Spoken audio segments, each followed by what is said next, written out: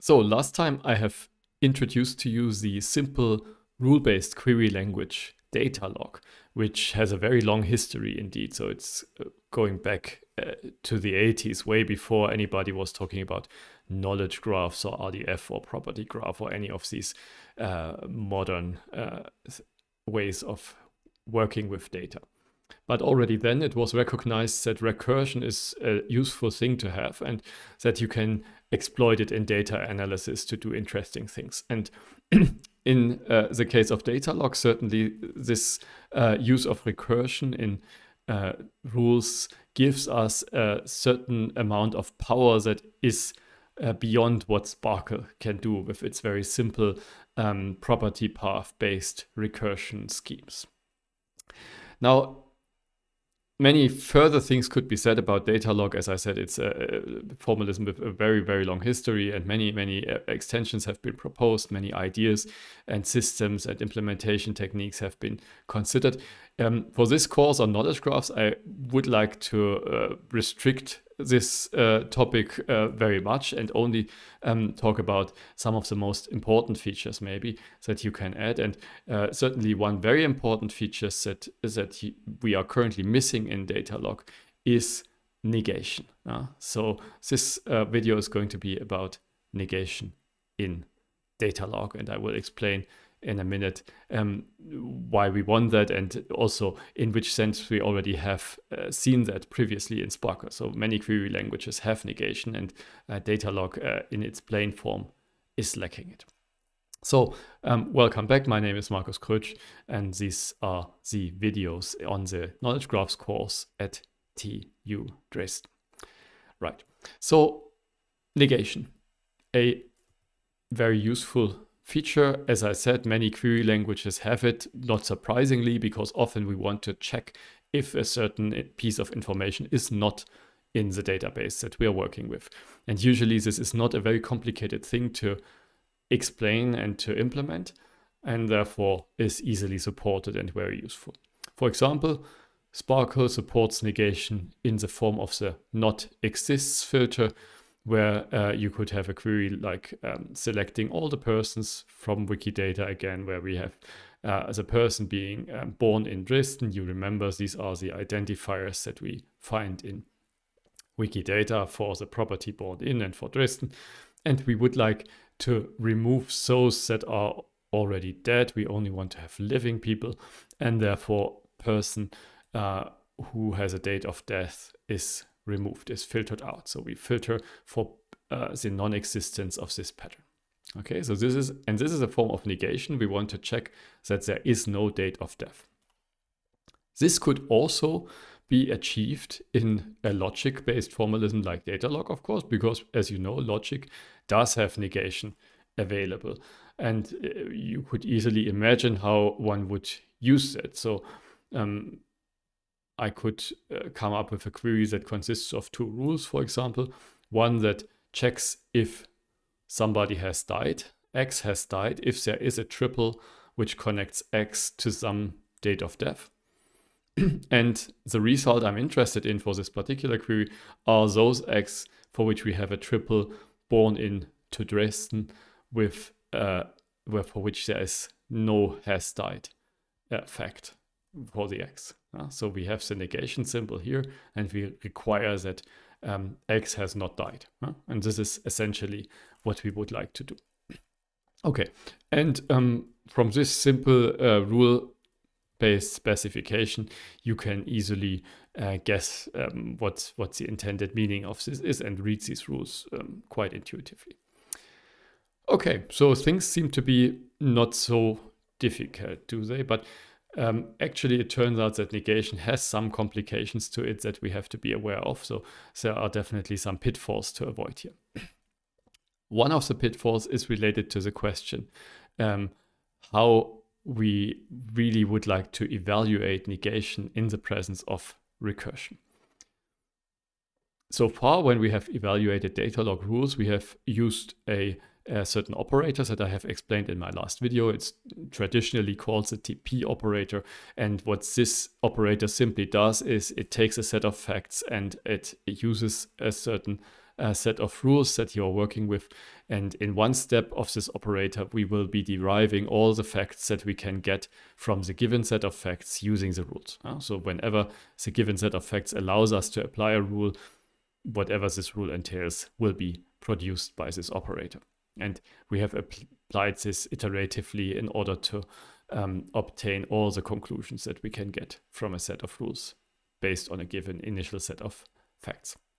Now, this idea can be extended or lifted to the case of negation, and this is shown on this slide. So um, essentially what we could say is that a negated ground atom of the form not A is true over a database D if we find that A is A itself is not contained in D. So if A is not found in D, then the negation of A should be assumed to be true. This, of course, is what logicians call a closed world semantics, meaning that everything we don't know to be true is automatically assumed to be false.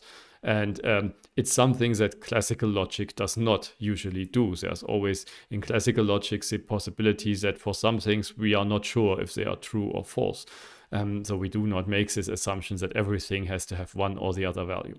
But if you are working with a single specific database, it's very natural to assume that if something is not stored in your database, then it's not true maybe not in the strong philosophical sense of truth for whatever that's worth, um, but in a practical sense, right? Often you want to ask a query this, which checks if a fact is found in your database or not.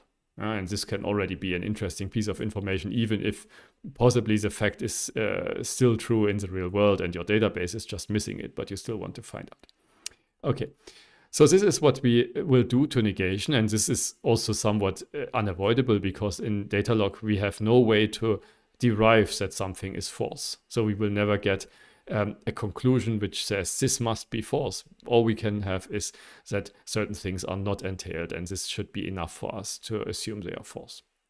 Okay. So with this, we can define the TP operator working on a set I as before to work on rules with negation as follows. We simply say it produces all the consequences, all the heads of uh, rules in our program where a rule now has a positive body and also a negative body with negated atoms, um, for which we find that the positive body are under this particular substitution sigma, which somehow gives values to our variables, is true. So all the positive body atoms with this interpretation of the variables are in the set of facts we start with, whereas all the negative body atoms A1 to AM with this interpretation are not in the set of facts, so they are false by this closed world interpretation. And then simply we derive something. So uh, it's really the most direct way in which you could apply this and, and would probably also be the intuitive interpretation of this conjunction on, on a given database. Yeah. So everything has to be true if it's uh, unnegated and false or not true if it ha- if it is uh, negated and if you find that all of this is satisfied then you get the head and this is your new conclusion. And TP gives you the set of all of these new conclusions as usual. And you can also see, of course, that this definition um, is the same as I had before. If you have rules without any negation in them, then only the first part of this condition will be relevant. And this is exactly what I defined in my previous video. okay, right. So um, this is uh, the straightforward and in a certain sense naive way of applying a rule with negation. Now let's see how well this works.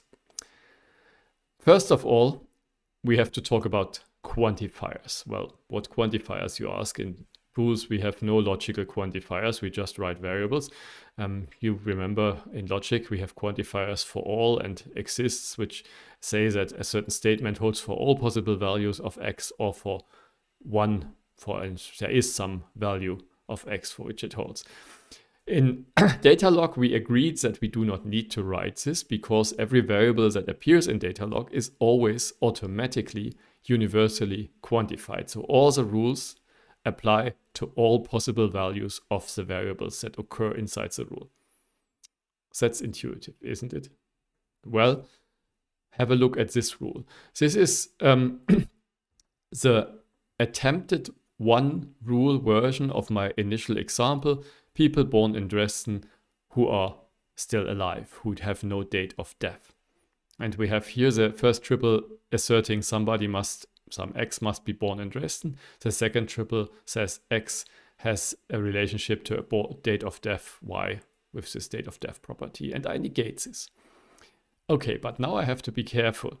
In, in SPARQL, the query pretty much was looking like this actually. We had not exists here in um, place of the negation. But of course, not exists already gives us a hint that somehow we have an existential quantification happening here, right? So um, we were saying there is no date of death. There doesn't exist a date of death. Why? In Datalog, however, x and y both are universally quantified. So for all x and all y, if this condition holds, we get the result. So it means that if we find just one value for x and one value for y, such that these two atoms are satisfied, or these two literals, I should say, are satisfied, meaning that the first one is true, the second one is not true, then we should conclude that x is in the result. But this doesn't say that x should not have any date of death. It just says that x should not have some date of death. So in other words, there should be some y, some value for y, for which x did not die on that day. Uh, which is a bit trivial because most people, even if they died, didn't die on every day. So it's tr trivially true that they did not die on every possible value of y. Um, meaning that this thing will be satisfied, right? So the meaning of this query is not what we would like it to be, but rather we um, would get far too many people, including people who have died, as long as we can at least find one date why when they didn't die. Okay, so this is this is about quantifiers in Datalog, and you have already seen how I have solved this problem earlier. I simply um, made another rule which found the people who have died in the first place by using a non-negated version of that triple and projecting away the y just saying X has died if there is a Y. And then I just negate has died here. And this will um, put uh, the uh, quantifiers in the right uh, parenthesis, so to speak, logically, and make sure that this has the right semantics. If you um, have doubts, uh, maybe take some time to think about the two examples and compare what they really mean. okay, right. So this is not uh, is a correct way of using negation. There's another thing here that, of course, having this expression in the first place uh, is maybe um, problematic because we simply say that there is some value for y such that x did not die on y. We don't even say that it has to be a date.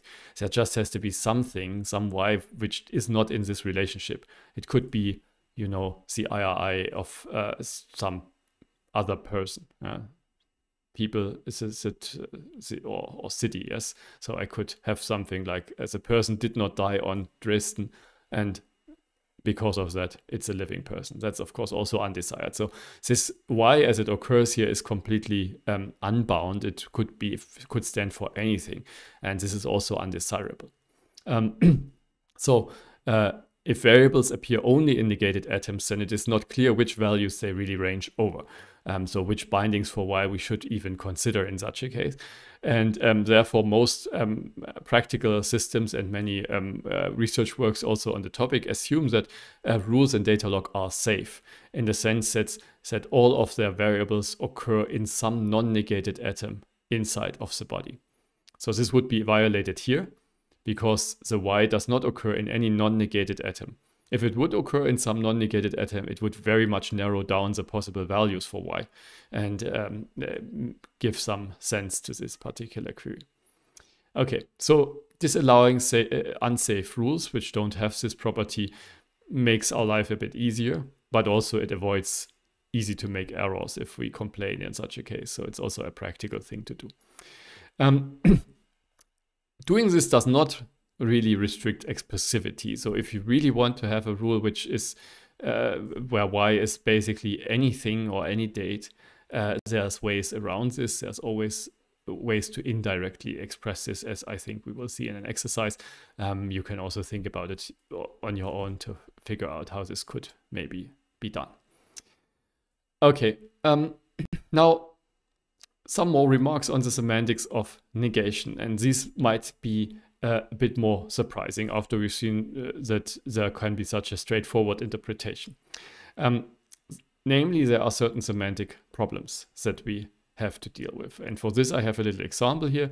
It states that uh, Greta is a human, and um, the first rule says that if X is a human and not a child, then X must be an adult.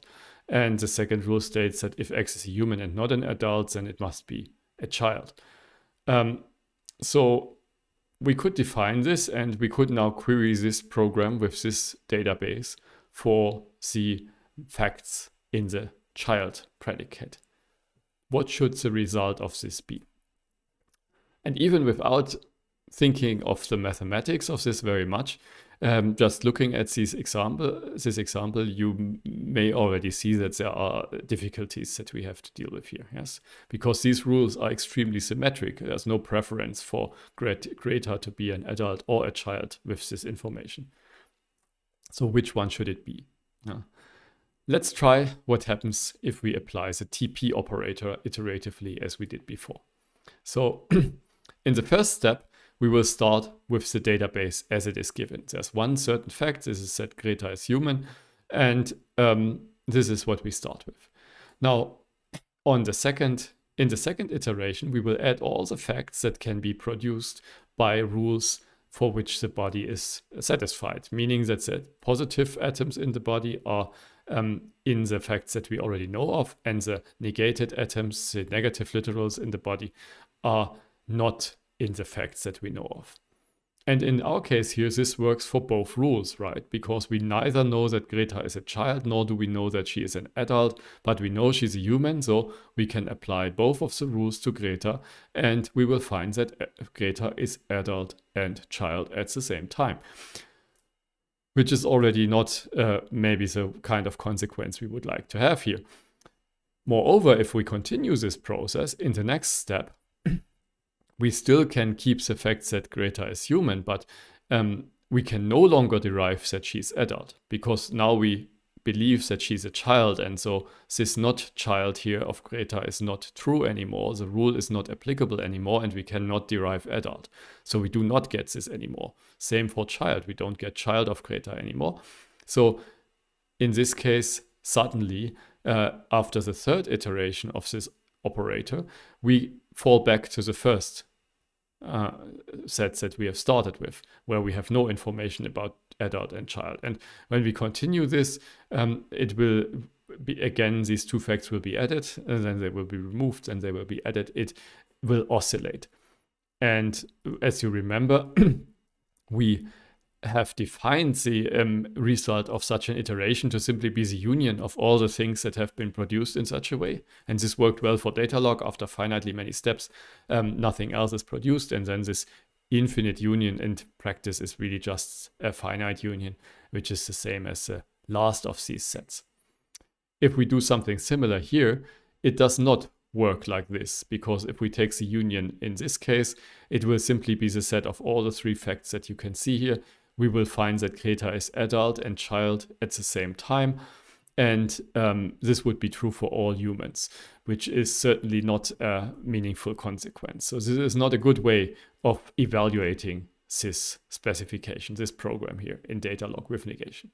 Okay, so there are certain problems we have to handle, and um, you can see in some sense, of course, that this problem is already uh, inherent to the uh, specification we start with. It's not okay, we are evaluating it in a very naive way, and this is, of course, not a good result, but already the specification is uh, such that it is uh, impossible to imagine an evaluation that would give us only one clear answer here. And having the other option that uh, which is symmetric that we only know human Greta and we neither know that she's an adult nor a child is also not satisfactory of course because um, in this case the two rules here would not be satisfied by the outcome of the computation. It's also not a nice thing. We want the program to be true in the set that is computed under the semantics that we like. So either way, um, it doesn't uh, seem to uh, work. There, there seem to be multiple possible solutions here uh, that would be acceptable. Maybe that Greta is human and that she's an adult, and that uh, alternatively that she's human and she is a child.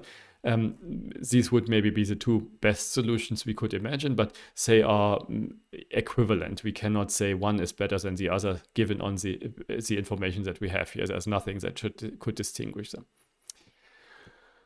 Okay, right. So somehow we have to handle this when we want to uh, work with negation. Now, uh, what is the real problem that uh, we have just observed? Um, the problem is that the iterative evaluation of rules fails if negation is used freely inside a recursive process, because the recursion suddenly will start to oscillate and will no longer be guaranteed to converge towards some limit, which gives the true semantics of the specification. Um, so initially, we start with no knowledge, but if we have negation, that's not really no knowledge. But in fact, if we have nothing derived yet, it means, means that very many negated things are true.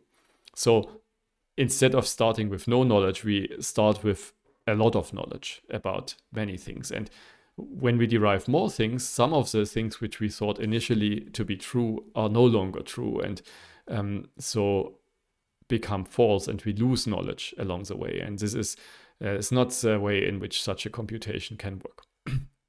um, so this is also what's called non-monotonic behavior. As we uh, move forward, we do not just monotonically gain more and more knowledge by having more inputs, but rather sometimes we get less of it. Now, to avoid this, one way uh, uh, to avoid this at least is to organize rules in layers of dependencies, or um, as they are usually called in this uh, area, strata.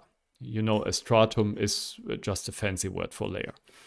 Um, now, the idea now is that uh, whenever we have a rule that uses negation, um, it should only uh, apply negation to facts of which we can already be completely sure that they will never become true again. So we want to have layers where we first establish the truth and falsity of some things, and only after this is certain, we start deriving more things on top of this knowledge about the truth and falsity of certain uh, previously derived things. And this is the idea of uh, this layering that we are going to work with here. so definition 9.6. Consider a set P of rules with negation. A function L that assigns a natural number L of P to every predicate P is a stratification of this set of rules if the following are true for every rule in P. And the rule has this form here. There's a head and there's n positive predicates which I call P1 to Pn, and there are M negated uh, predicates Q1 to Qm um, that appear here.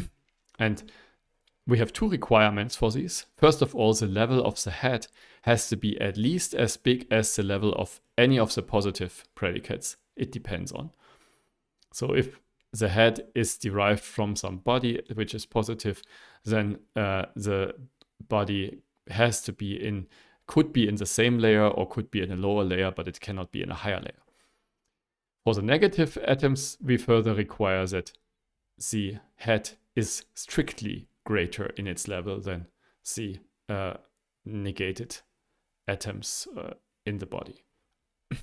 so in this case, we require that this Q1 to Qm atoms are in a strictly lower layer, which means that we already have certainty about their truth or falsity. Okay, so this is the intuitive and also the formal way of defining this. So this is a stratification, a way to assign levels to predicates. No?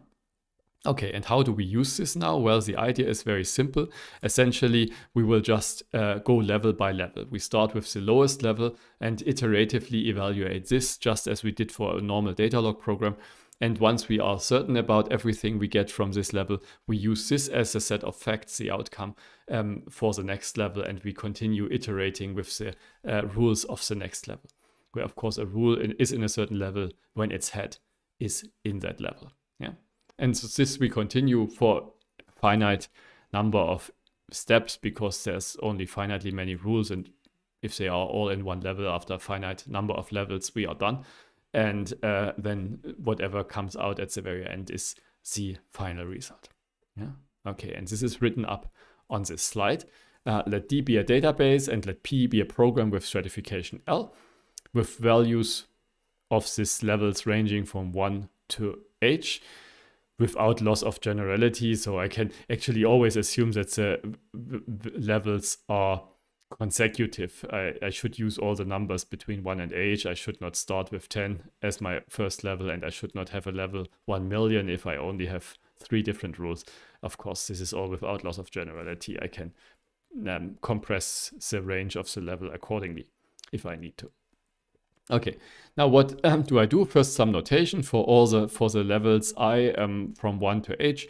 I define for each of these levels a sub-program that exactly captures the rules in that stratum. I call that pi, and it simply consists of all the rules in the program for which the level of the head is exactly i.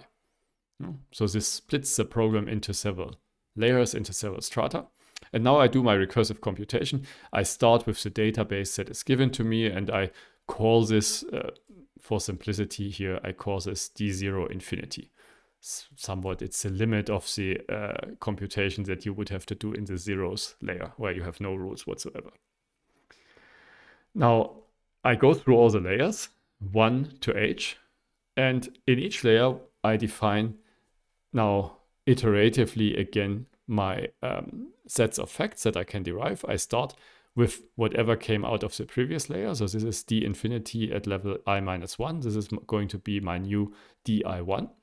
And then uh, whenever I do a step here I uh, to j plus 1, I take again all the facts that came from the previous layer. I have to keep them just as I kept the database for um, the definition of TP with Datalog without negation. And I add on top of this all the facts that the TP operator derives for this program PI for only the uh, rules on the current level from the previous iteration DIJ. Yeah? So I'm on level I and I'm in step J plus one that I want to compute. So I use the results from step J and I apply the TP operator to it. And this TP operator now really is the naive operator, which will evaluate negation by simply checking if the um, negated atoms are not in the set given here and that's enough. And the limit of this is defined as before. I just take the union of all the steps in the level i. And this gives me di infinity. Okay, and in this way I go through the levels until, uh, until I finish this for the um, stratum h. And the final result of uh, evaluating p over d is then this limit of stratum h. Okay, right. So this is writing this down is a bit technical and you may want to spend some time on the details of this definition to be sure you really got it and with these different indices, okay? But uh, I think the idea doing computations level by level should not be too difficult here. Okay, some observations we can make here. Um, first of all, in each level, what happens there really is the same, almost the same thing that has happened before with the TP operator. And um, we really, again, get an increasing sequence starting with the DI1 over um, DI2 and so on. We will always have more and more facts in every step. So it is monotonic in this sense. It's not a non-monotonic process anymore. Um, and the key uh, feature here is that the facts that uh, are relevant for negation are not changing anymore. They are not going to be produced at this stage or any later stage. They already have been produced in the previous strata. So they uh, are fixed background knowledge that I can use without the danger of losing it later on. okay. And um, again, these sequences will be finite because after some finite amount of time, everything you can derive with the rules of this stratum will be derived, and then you are uh, done and you can continue with the next stratum. So this process, even though it's split into several steps now uh, or several stages, uh, it is still a finite process. And after finitely many steps, you will know what the final result is, just as for Datalog. Okay. Right. So this is how you work with stratified um, negation. You make layers. You uh, make sure that dependency is only in one direction for the negation. You have no recursion through negation. And uh, this will be enough to uh, get a well-defined behavior, even though it's still non-monotonic. This is not classical logic what we are doing here. We are making assumptions about things being not true whenever they are not derived. okay. The result of this is um, customarily called the perfect model. So um, the set of facts that we obtained from this procedure, as uh, uh in my previous uh, uh, slide. And uh, there's a fact about it, which I just want to tell you without discussing much details, but uh, essentially which should ensure us that this is a good thing, the perfect model.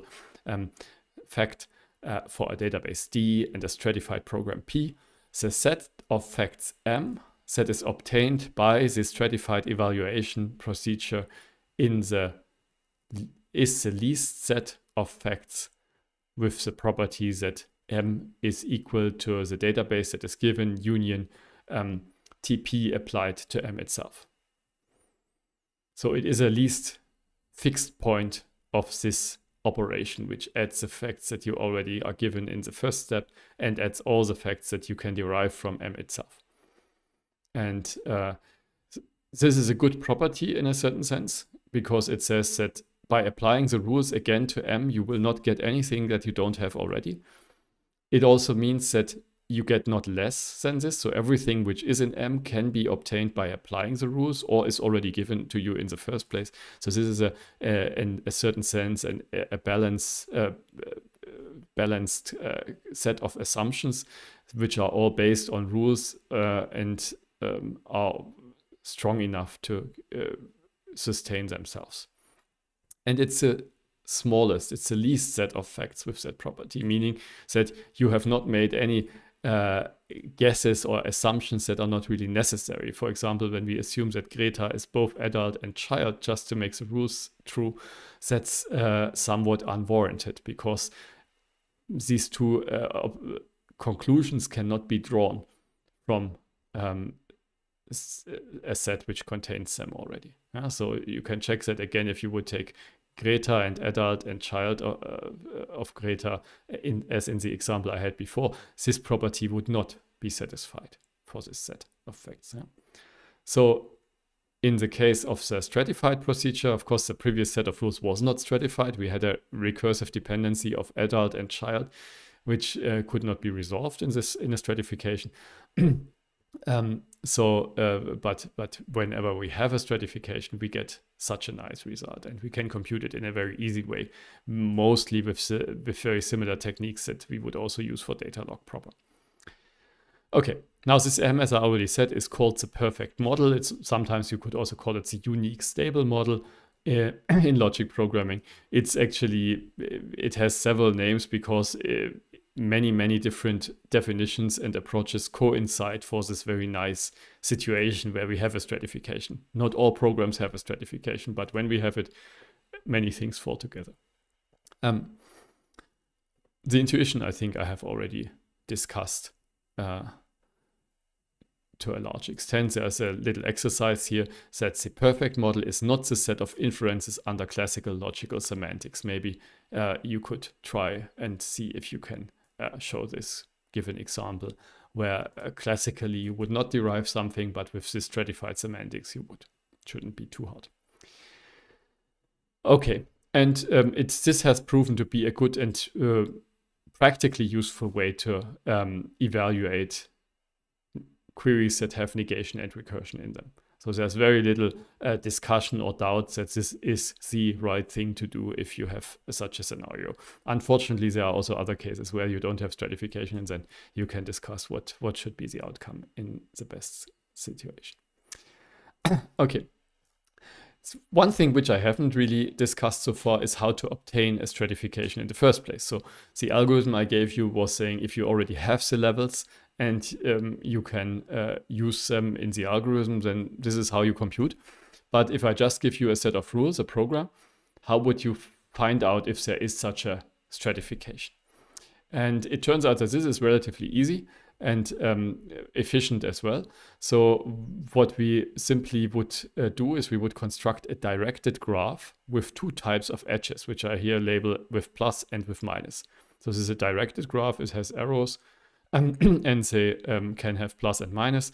Um, the vertices of this graph are simply predicate symbols which occur in the program. So all the predicate symbols which occur in the program feature there as vertices and we will now connect them with these edges there's a positive edge between two predicates if there is a rule where uh, P is in the non-negated part of the body and Q is in the head. So P positively implies Q through this rule. And there's a negative edge from P to Q if there's a rule where P appears negatively in the body and Q appears in the head. So somehow in this case, Q negatively relies on P. And um, well, actually, it turns out that uh, the program P is stratified, stratified if and only if the graph contains no directed cycle that includes an edge with a minus. Yeah, so if you can somehow find a, direct, a cycle inside this graph, this might still be okay if all the edges are labeled with a plus. But if there's at least one minus, then uh, it's impossible to find a stratification and it's it's easy to see why, because if you would assign levels to all the predicates on this path, then um, say uh, it would be impossible that for, for the for the case of the minus the level has to strictly become strictly larger um, and so if you go around you would uh, have larger and larger uh, levels and it uh, would if there cannot be a solution to this right some kind of Azure there right okay so this is a very simple thing to check. Checking for the existence of a cycle or checking for all the cycles in a graph is something you can do easily and um, efficiently. Now, if you don't have a cycle with a negative edge, then we, you can get the stratification directly, basically by producing a topological order of the strongly connected components of this directed graph. Once you know that there's no cycle through minus, you can actually forget about the types of uh, arrows. You don't have to distinguish plus and minus anymore. You just consider it as a graph and um, you run a standard algorithm, for example, Tarjan's algorithm, a popular algorithm in computer science to find the strongly connected components, the things that are on mutual cycles, so to speak. And um, their topological order, which uh, goes from the first, so to speak, topologically ordered uh, uh, or um, the, the, first, the earliest uh, strongly connected components to the ones which are later, which you can reach from the first, but not vice versa. And any order which does that uh, is okay and can be used as a stratification. Once you have the order, you just assign uh, numbers starting from the first to the last. Okay. So this can be done. And I think we will also try that in the exercise. Right, but usually it's very easy to see for the case with adult and child and Greta, um, you can easily see that there's a negative edge cycle immediately there between adult and child, of course. Right, so that's all I want to say about negation and Datalog mostly and stratified negation as it's main practical way of uh, being used in data management at least. Indeed, in many cases for stratifi stratified negation is sufficient for query answering. So for many situations where we want to analyze data, where we want to um, work with, with knowledge graphs in particular, um, having stratified negation will already do. Sometimes we compute complicated things with recursion, uh, for example, and then we take the result of this recursive computation and we negate it. but usually we do this in layers. We do not have this uh, dependency backwards to the to the first step and and somehow um, in a non-stratified way. However, non-stratified negation still is important in practice um, because it appears in many optimization and constraint solving problems. So um, you can already see that uh, somehow there's this flavor, even in the simple example I gave you. Um, there were not one, but several possible solutions. And uh, each of them was optimal in a certain sense, namely in the sense that uh, the smallest number of assumptions is made. We can either assume that Greta is adult or we can assume that she is child. But it wouldn't be optimal to assume both because somehow this would make more assumptions than really necessary to make the rules true. Um, and uh, in many cases, uh, in many real world problems, such a kind of structure, dependency structure occurs that we say, okay, we have one or the other, but not both. And then non stratified uh, negation may play a role. This is actually handled, and there's a big um, field of work and techniques and implementations on this. Um, in logic programming, most prominently these days in what is called answer set programming, but there's also other ways of handling this case. This is not what I want to discuss in this course. So this is just as background information. You can find courses at TU Dresden certainly and probably also on the web um, to learn more about this. Um, one course we have uh, and where you can also find the materials online is problem solving and search in AI, which discusses answer set programming among other things. Now, um, another thing that I would like to mention before I end is that uh, stratified negation allows us to express non-monotonic queries. Of course, that's why we introduced it. But still, even with this extension, it is not possible to express even all polynomial time queries in Datalog. So you remember last time I mentioned that the data complexity of Datalog is polynomial time, but there are things that you could work out with a polynomial time algorithm over a database and which you can still not find out with a Datalog program. And this remains true even if you add negation.